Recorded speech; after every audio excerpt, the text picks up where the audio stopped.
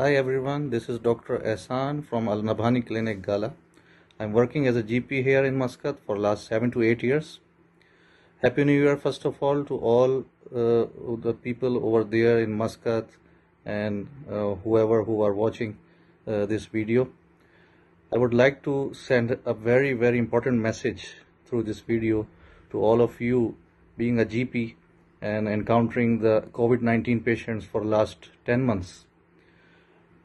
Uh, the thing is that it's very very important for us now at the start of this new year to be more and more careful regarding the SOPs, protection, masks, sanitizers, and whatever uh, best possible we can do regarding the social distancing.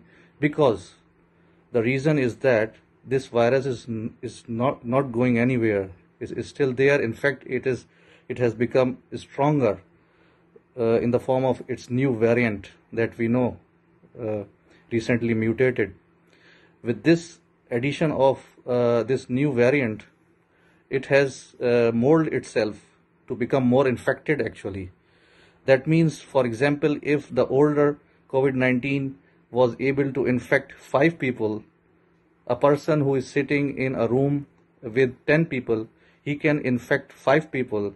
Now, the same uh, uh, virus with new mutation, it can infect 8 people. Hence, it can infect more people at a given time and condition. So that means we should also start to make ourselves more equipped against it and be more careful though the vaccinations has been started all over the world but these jabs will not be enough if we will not be careful enough against this muta- mutating virus and its uh, lethality.